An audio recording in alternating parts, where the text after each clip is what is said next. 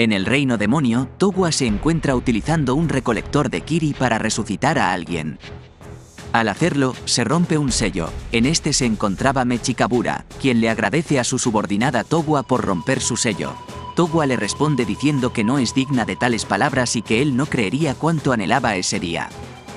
No obstante, Mechikabura no puede moverse con normalidad, por lo que Togua le sugiere usar unas orbes que pueden cumplir cualquier deseo, las cuales fueron creadas por un Namekiano. Mechikabura está interesado en estas esferas, ya que quiere utilizarlas para recuperar su juventud y vengarse de la Kaioshin del tiempo.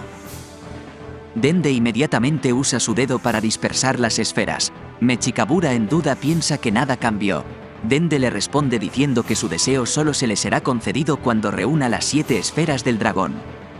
Togua en pena se disculpa con él por ese inconveniente, no obstante Mechikabura no parece tener ningún problema, ya que encontró una que se dispersó por el espacio-tiempo, pero antes de ir a buscarla, Mechikabura le pide a Togua que venga con él ya que le dará el poder de un dios demonio. En el nido del tiempo, Cronoa se encuentra preocupada ya que encontró otra anomalía en la historia.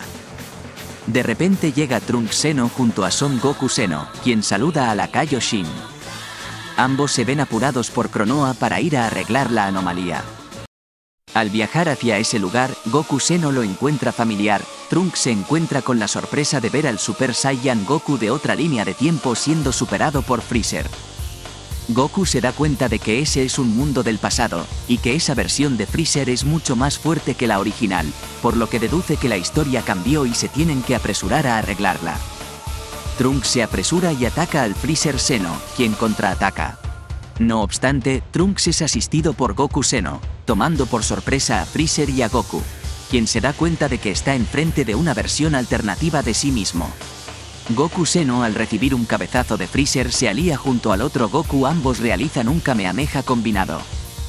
Sin embargo, Freezer Seno usa su 100% de poder y trata de repeler el ataque, pero de repente, Trunks aparece y corta a Freezer Seno, quien suelta la esfera que tenía en el pecho. Tomándolos por sorpresa, la esfera es recogida por Togua y Mira, los cuales denominan estas esferas como las esferas del dragón oscuras.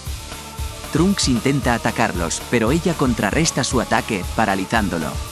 Togua le insiste a Mira que regresen al reino demonio, pero Trunks no los dejará escapar, y mostrando los resultados de su entrenamiento, le lanza un Kamehameha a Togua, cuando de repente Mira se pone en el medio para protegerla, muriendo en el acto.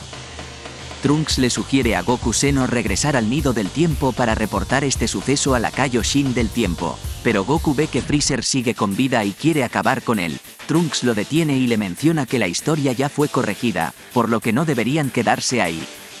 Cuando ambos se van de Namek, Freezer suplica por su vida como en la historia original, y Goku le da un poco de su ki. Al regresar al reino demonio, Togua le entrega a Mechikabura la esfera que obtuvo.